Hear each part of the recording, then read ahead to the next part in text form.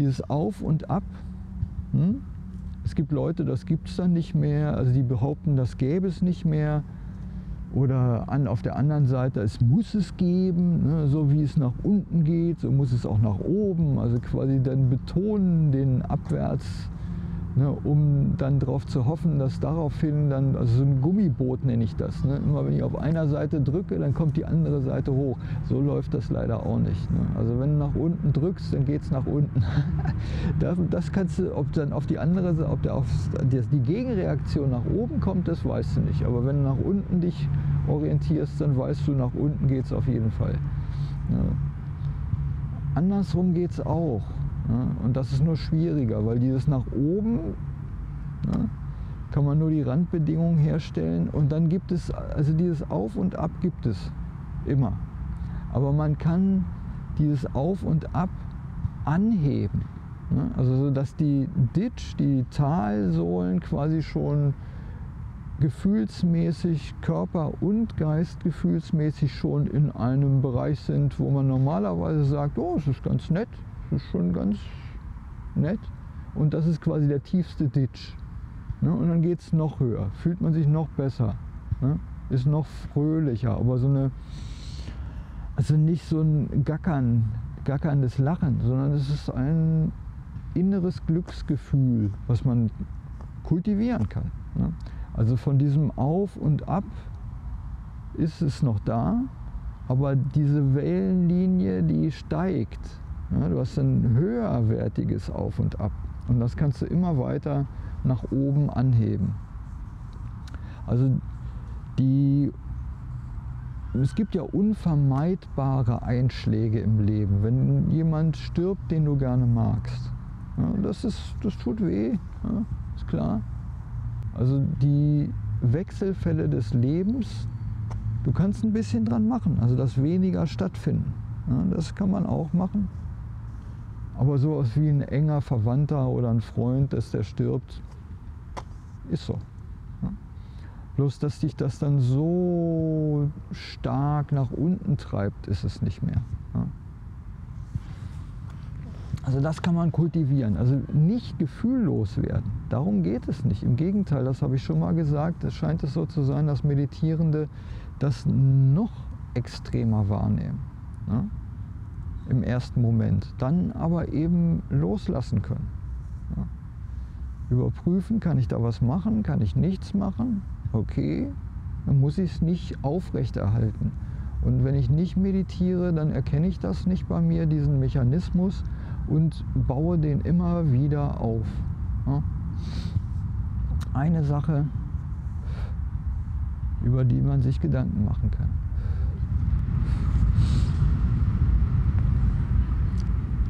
Jetzt sitzen wir ohne Anleitung, denn eure eigenen Hindernisse sind eure Lehrer oder euer Mantra oder euer Gebet.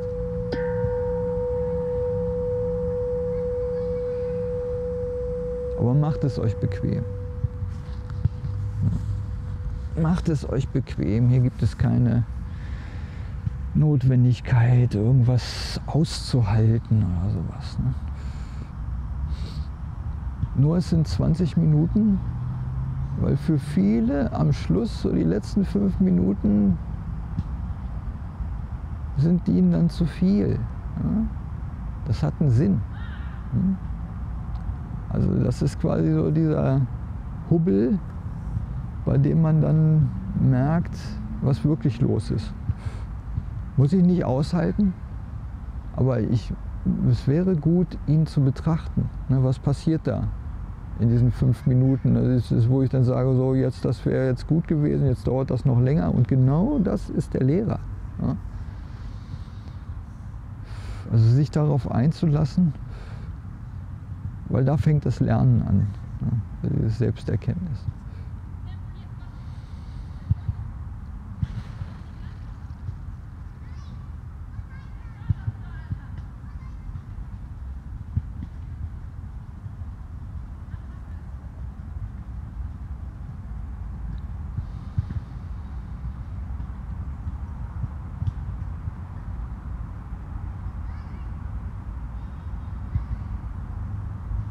Ich sage zum Schluss jetzt nichts.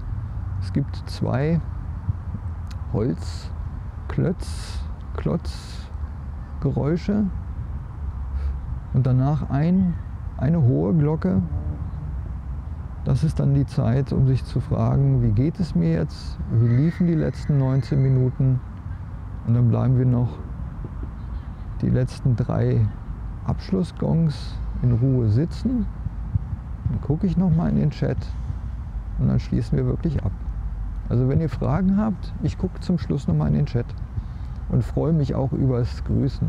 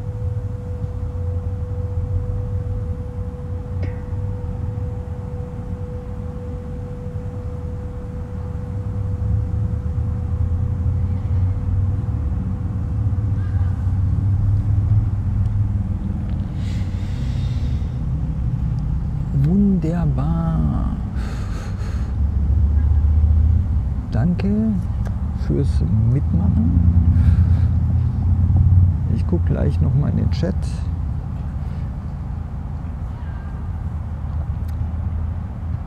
Habt ein schönes Wochenende. Bis zum nächsten Stream. Habt ein schönes Wochenende. Und ich schaue noch mal,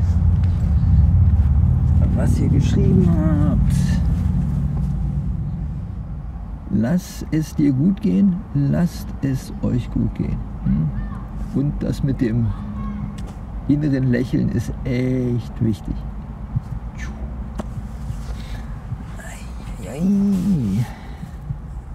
Back to the still. Back to the black. Bis zum nächsten Mal.